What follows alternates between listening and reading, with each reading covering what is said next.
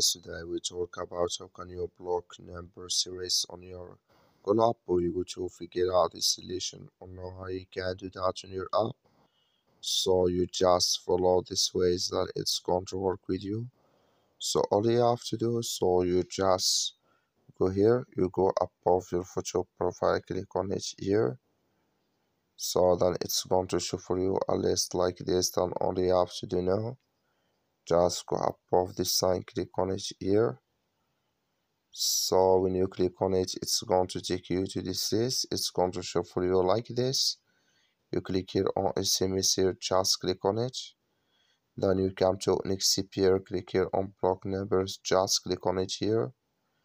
Then it's going to show for you a list like this here. Click here on number series here. Then here you will select if you want to add start with or uh, here or end with then you add here enter number click on ok then it's going to add with you. That's all you have to do. Thank you for watching. Don't forget to support us by liking and subscribe